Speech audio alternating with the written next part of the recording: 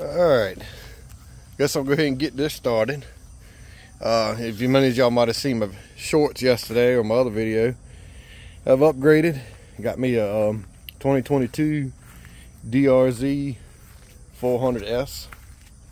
Um, I've been looking for a while to figure out what I really wanted, and this was really fit exactly what I'm trying to do. Because I mean, as you can see, I got plenty of farmland, got cow pastures, as y'all have heard me talk about before. So I wanted something to be able to ride off-road and uh, commute back and forth to work.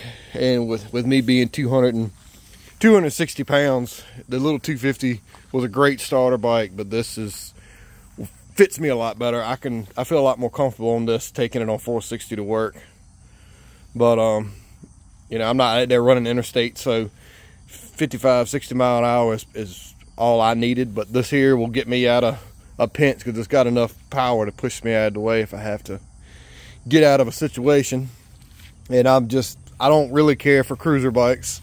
I like being able to hit the road. I like being able to jump back and ride around the yard because I ride, I'll ride around the yard and over in our field uh, more than I do on the road really. But um, like I said, I know people have said certain things to check on these bikes and all of that, but um, and how they don't like the seat. It's not comfortable. But I mean, I'm not riding far, so it doesn't really bother me. And I'm tickled to death with it. Um, the boy I bought it from, he bought this thing brand new in 2022, obviously. And uh, the only thing he has done to it is change the tail light out. And I, I like the fact that that's on there because it looks a lot cleaner. You don't have that big old tail drop thing drop down in the back. But this is what I do not like about it. Um, so I'm gonna fix this. I don't really like the turn signals on it. To me, I want to be seen. So, I mean, it's got a good brake light, a good running light, but um, I'm just gonna buy a set of the turn signals and just mount them back here.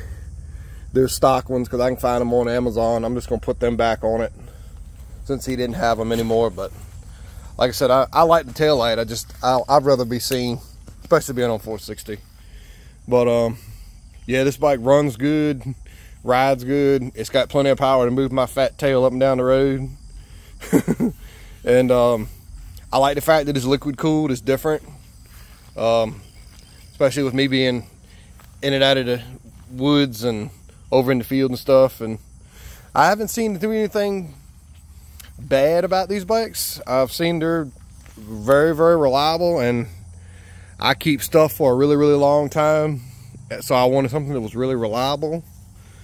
So like I said, this is just kind of the introduction for me to y'all on it. Um, the boy did tell me that the only time it's been dropped, he was on a dirt path and he uh, met a car on a dry, dirt, dry, um, dirt gravel road and I think it scared him or something, and he he hit the brake and he dumped it. So I got a scratch here, a scratch here. This is bent.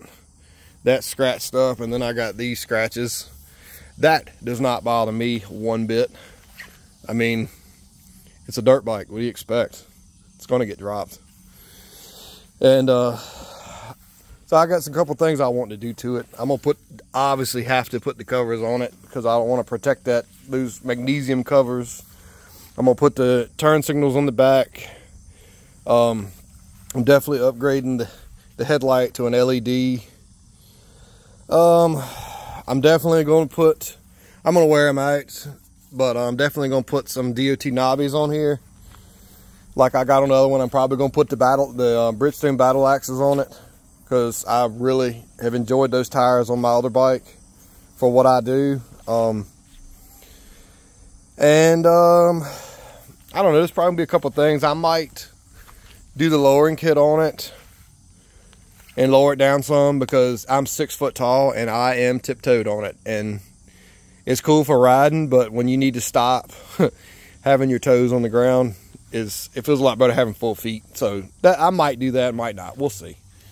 Um, I've already had my first upgrade. Got a heavy coffee cup holder up there.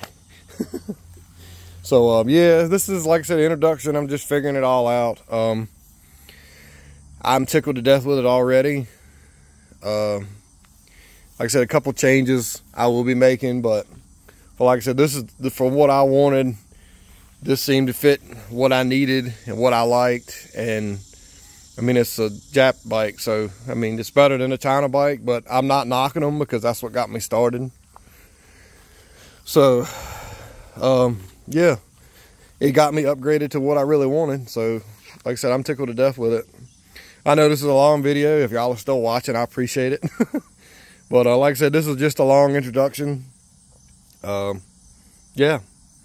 So we'll be seeing you in future videos for this as I embark down this journey with this bike. So thanks for watching. Y'all have a good day.